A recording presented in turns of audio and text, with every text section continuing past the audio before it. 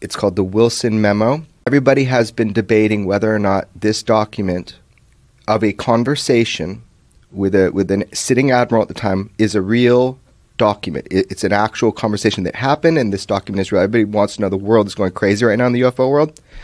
I'll tell you straight up right now, I'm in the position to know, and it is a real document.